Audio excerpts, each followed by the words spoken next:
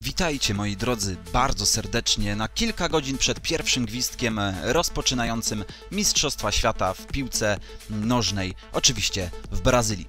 Moi drodzy, jestem wielkim fanem piłkarskim i nie podarowałbym sobie, żeby nie omówić tych wielkich rozgrywek, które się odbywają raz na 4 lata, więc można coś o nich wspomnieć, należałoby wręcz można powiedzieć.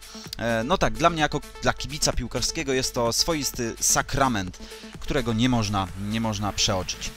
E, moi drodzy, mm, spróbuję wytypować swoich zwycięzców grup. Zobaczymy, jak mi się to pokryje z rzeczywistością.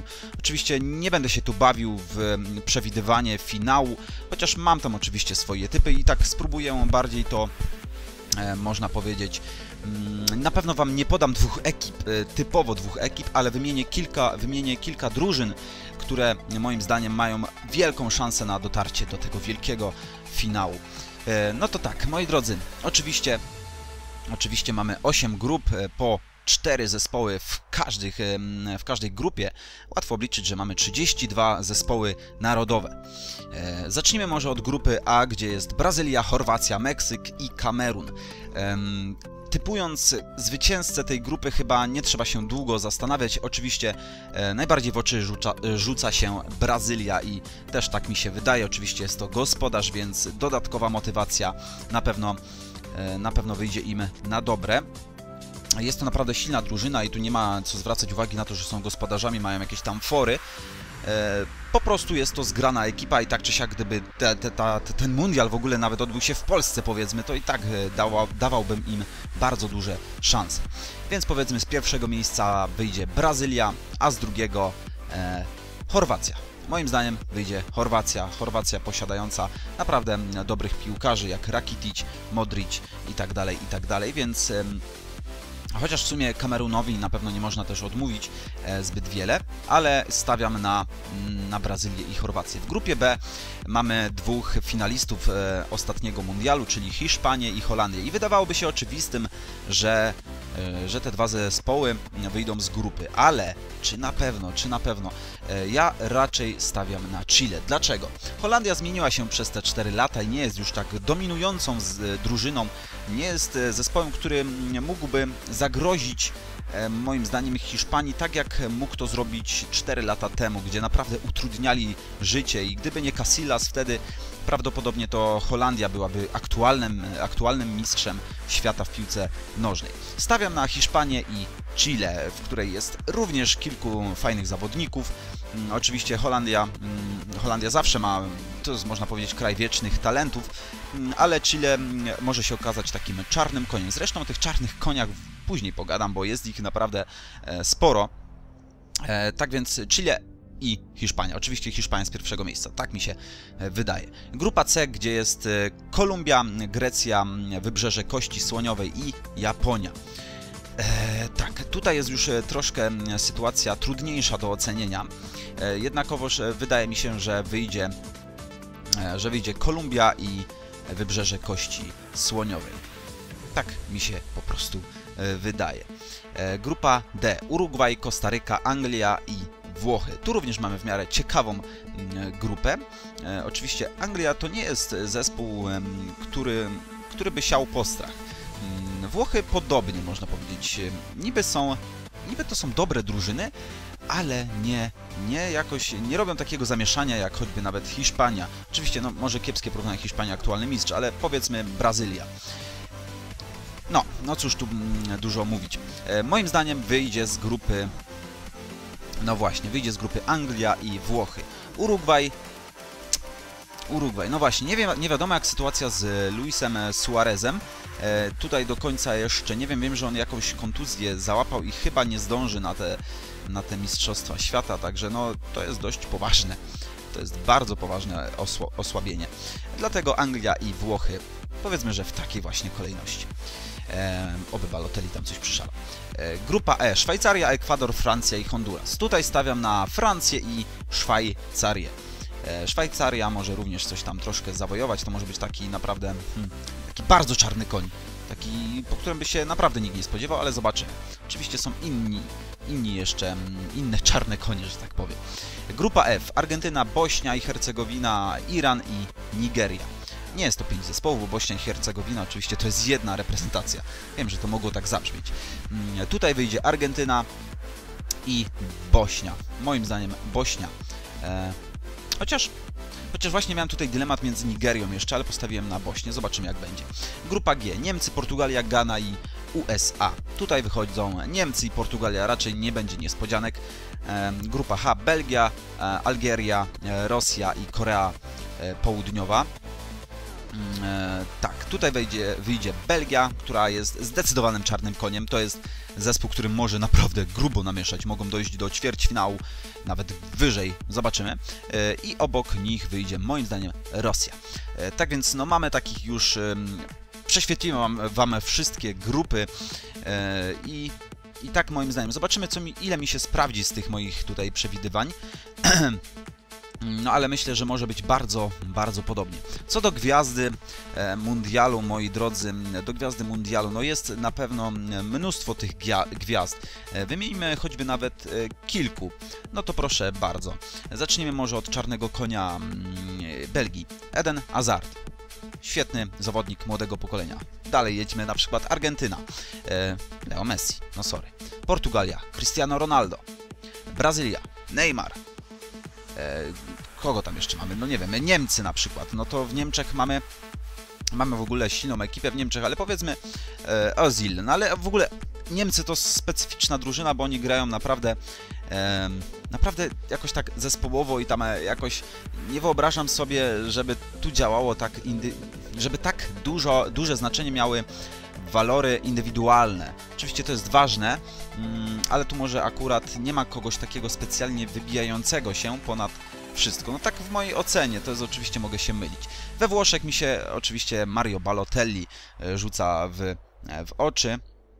Myślę, że każdemu się będzie rzucał w oczy w ogóle podczas mundialu. E, inna sprawa, nawet nie chcę tutaj, nie, nie, nie traktujcie tego jako podtekstu, podtekstu troszkę rasistowskiego, bo tak nie jest. Oczywiście kolor skóry nie ma znaczenia w moim, w moim uważaniu. Liczy się to, co ktoś potrafi, ale specyficzny styl bycia Balotelliego sprawia to, że, że tak się go chce oglądać. No i tak. No i to myślę, że najważniejsze, najważniejsze takie... Nie wiem jak jeszcze z Luisem Suarezem. Tutaj naprawdę ciężka sprawa, bo no chciałbym, żeby ten zawodnik się zdążył wykurować, ale to już chyba nie jest możliwe. W ogóle no, kilku naprawdę ciekawych, kilku ważnych zawodników opuści Mistrzostwa Świata, choćby nawet e, Royce z Borussii Dortmund, z reprezentacji Niemiec, choćby nawet Frank Ribery bodajże. Przecież Francja to jest jedna z największych gwiazd we Francji. To jest po prostu mm, katastrofa dla tych zawodników. Dla niektórych z nich, no Ribery już powiedzmy sobie szczerze młody nie jest, już teraz dokładnie nie wiem ile on ma lat, ale powiedzmy, że to może być na przykład jego przedostatni mundial. Więc no różnie to jest, różnie to jest, a nikt nie, nikt nie wie jak za te 4 lata Ribery będzie się spisywał i czy w ogóle zostanie powołany. No, no cóż, ok, moi drodzy, teraz faworytów wymienię do zdobycia Mistrzostwa Świata i troszkę omówię. Przedtem już tak troszkę zacząłem, e, wspomniałem o tych drużynach, ale teraz tak postaram się dogłębnie. Mam taką swoją czwórkę, którą typuję na finalistów.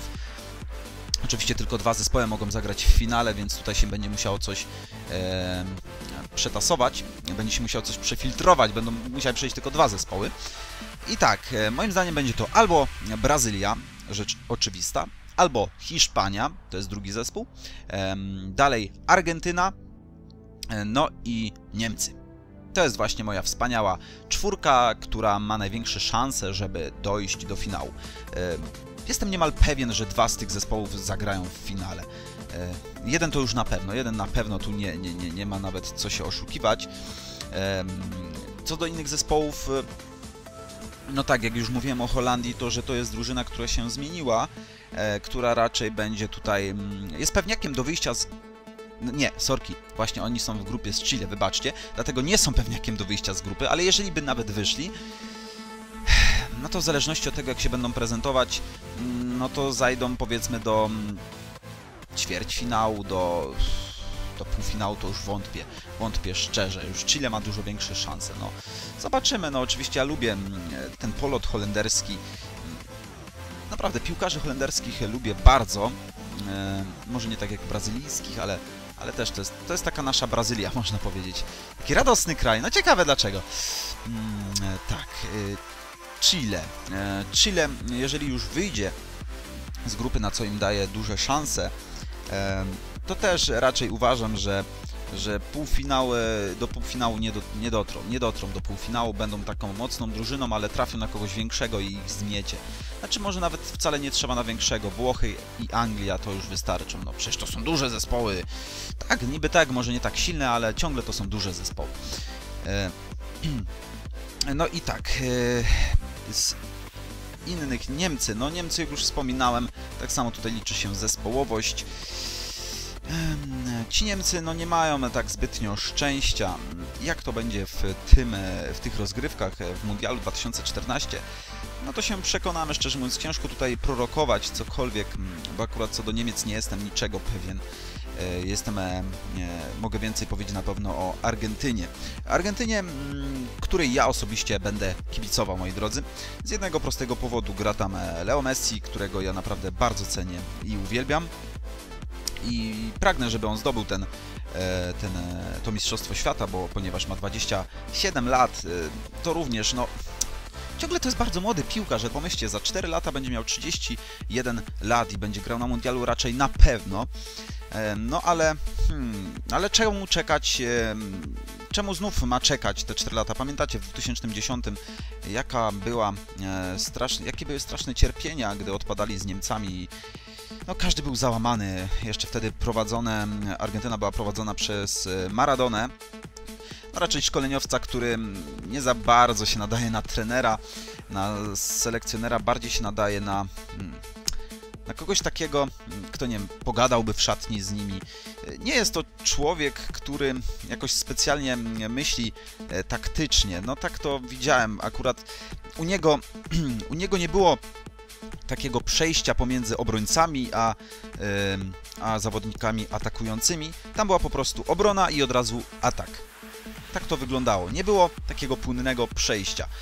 E, no i to się zemściło, to się szczerze mówiąc zemściło. On też na takich zawodników stawiał i mm, no i niestety odpadł.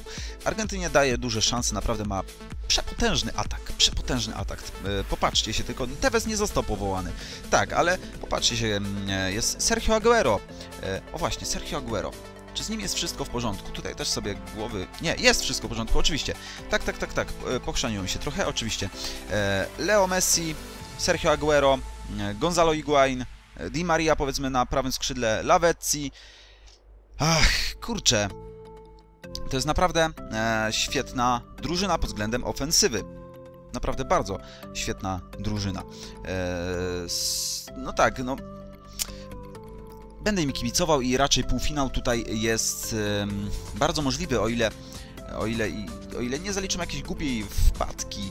E, no cóż, no myślę, że to jest na tyle dobra drużyna, że potrafi, poradziłaby sobie nawet z tymi wielkimi pokroju Brazylii. Oczywiście mecze pomiędzy Brazylią a Argentyną to, to, jest, to, są, to jest masakra, to jest chyba wymarzony finał. No i w sumie takiego bym sobie życzył. No ale czy tak będzie, to zobaczymy. E, zobaczymy w każdym razie. Ja kibicuję Argentynie i Brazylii. Tak, tak. E, naraz im kibicuję. Jeżeli dojdzie do bezpośredniego pojedynku, będę kibicował Argentynie.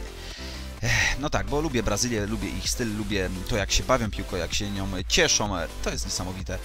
Oczywiście również przy okazji mundialu tak należy wspomnieć o tym kryzysie w Brazylii, gdzie to wszystko w telewizji będzie przedstawione jako radość wielka, jako po prostu wielkie święto, każdy się cieszy. Tak naprawdę był taki jeden dobry obrazek w internecie ukazujący całą sytuację, gdzie tam fajerwerki na stadionie wybuchają, wszystko tego się cieszą, a to takie dziecko, dziecko na boso, e, koło, z, koło koło muru jakiegoś obalonego, no po prostu takie, w takiej ruinie z piłką e, podartą w ręku, no naprawdę to było mm, poruszające za serce, poruszyło mnie za serce, że tak powiem. E, no i tak to, tak to wygląda, tak to wygląda. Brazylia niestety, no nie we wszystkich swoich dzielnicach jest jest taka piękna i kolorowa. Oczywiście to jest też ubóstwo, to jest też wiele rzeczy. Dlatego też e, tak dobrzy piłkarzy, dobrzy piłkarze się tam E, rodzą, bo tam po prostu na ulicy są wychowani, tam e, Futbol jest ich oderwaniem od rzeczywistości. Cieszą się tym, po prostu żyją tym od małego. No i stąd tak dużo, tak wiele talentów z Brazylii. Moi drodzy, moi drodzy, myślę, że myślę, że tutaj będzie na tyle. E, Jeszcze może na, na temat Belgii, tak e, na temat e, powiem, która, która moim zdaniem jest e, jest zdecydowanym czarnym koniem, czyli drużyną, która, która może zrobić wielką niespodziankę, która w swoich szeregach ma naprawdę wielkich pi- piłkarzy. To się tak wydaje, ale popatrzcie się na skład, na skład Belgii. Mają świetnego, świetnego Edena Hazarda, którego ja naprawdę szczerze podziwiam e, za jego grę w Chelsea. Mm, Mają niesamowitego bramkarza na lata, Thibaut Courtois. Mm, No, można by wymieniać, ale naprawdę to są, e, to jest zespół niesamowicie silny. E, Lukaku w ataku. Lukaku w ataku, no. Romeo Lukaku oczywiście. No, no naprawdę, naprawdę. Oni mogą zajść daleko, mają po prostu młodą, świeżą, e, głodną zwycięstw e, krew. No będzie, będzie się działo. Zapowiada się bardzo ciekawy mundial. Francja raczej daleko nie zaszaleje. Tak jeszcze powracając tutaj trochę do grupy E. Francja raczej nie będzie tutaj jakimś wielkim, wielkim zespołem. Nastri z tego co wiem nie został powołany. No ale szczerze mówiąc się nie dziwię.